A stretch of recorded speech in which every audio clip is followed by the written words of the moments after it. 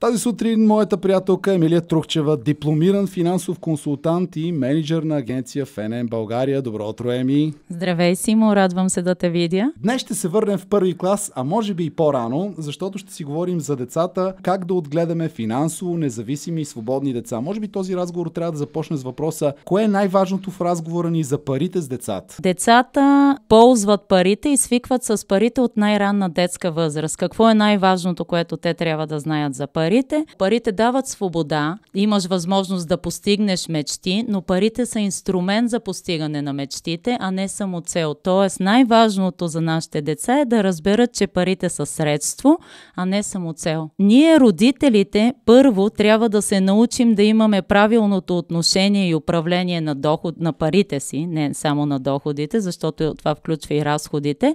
И трябва да показваме ежедневно това на децата си, за да може те да израстат с усещането, че управляват това, което имат. Кое е по-важно? Да им даваме, да речеме, седмичните им пари, които сме им определили веднъж или да им ги даваме ежедневно? Когато детето е по-малко, разбира се, че то трябва да има а, дневен бюджет. Да. А, но с порастването на детето, то трябва да се научи да поема отговорност за а, средства, които са за малко по-дълъг период от време.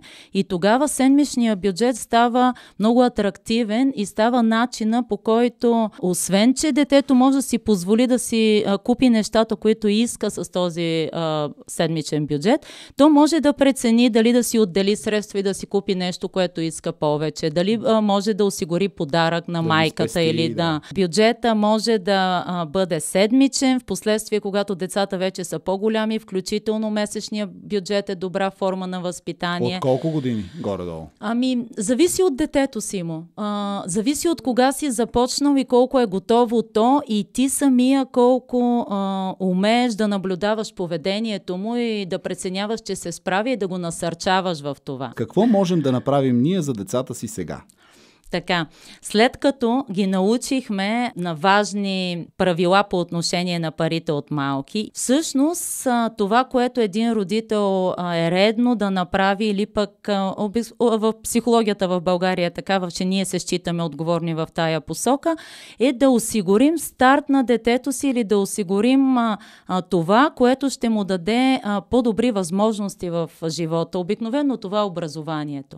Нали, ние искаме и считаме, смятаме, че нашите деца, когато са образовани, ще имат възможности за реализация такива, които ще ги направят достойни а, хора. Кога е най-подходящото време да започнем да инвестираме или да спестяваме под някаква форма пари за децата си, като се родат ли, преди да се родат ли, като станат на 5 годинки или? Втория въпрос е, има ли начин да не бъдат нарочени за образование, ми просто да се трупат без значение за каква цел? Първо, кога е най-добрият момент да започнем? Отговор Отговорът е вчера.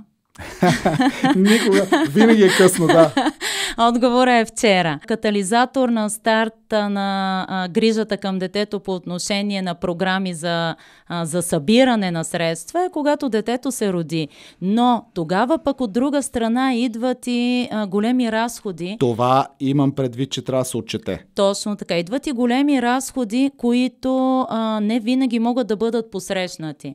А, разбира се, пък бабите, дядовците, гостите дават а, средства тогава. Mm. И това би могло да бъде ползвано от а, родителите при, ако те не са направили вече нещо, в което са натрупали средства. Ако ние нарочим определена финансова услуга, инструмент, който ползваме за това, той да бъде само единствено за децата ни, естествено, че трябва да ги има вече децата и тогава да стартираме. Но ние бихме могли има толкова възможности в момента, в които бихме могли да стартираме а, програма, в която да събираме средства и когато се роди детето, дори да спрем за известно време, за да можем да посрещнем повишените разходи тогава и да продължим в последствие. Препоръчвам ползването на подобни продукти, особено в днешно време, когато а, ние не знаем, така да се каже, на какъв акъл ще са децата ни, когато mm. дойде време да учат. Но ние контролираме това, което а, нали, то не попада в техните ръце, ние контролираме това, което събираме. Емилия Трухчева, дипломиран финансов консултант и менеджер на агенция фундация ФНМ България за финансово независимите и свободни деца, които като родители сме длъжни да отгледаме.